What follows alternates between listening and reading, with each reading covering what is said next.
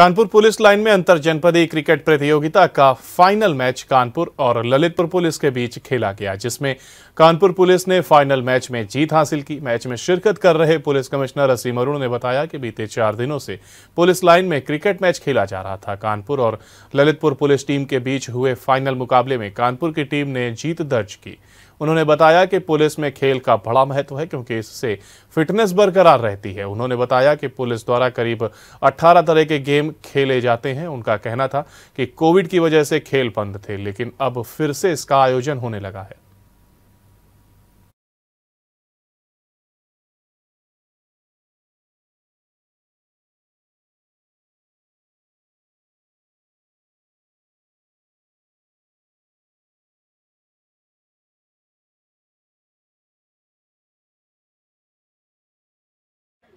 ये अंतर जनपदीय कानपुर जोन की क्रिकेट प्रतियोगिता आज आयोजित हुई।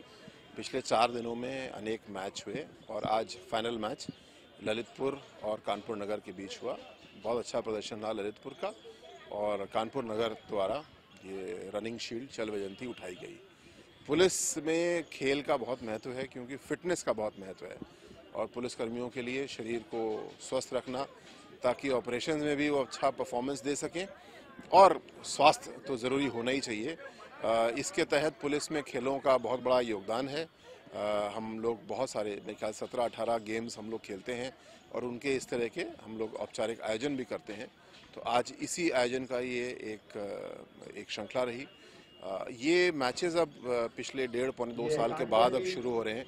कोविड की वजह से इस प्रकार के खेल पर अगर आपको हमारा वीडियो पसंद आया हो तो हमें लाइक करें सब्सक्राइब करें और ज़्यादा से ज़्यादा शेयर करें। और हाँ बेल आइकॉन दबाना ना भूलें ताकि हर खबर का अपडेट आप तक पहुँचे तुरंत।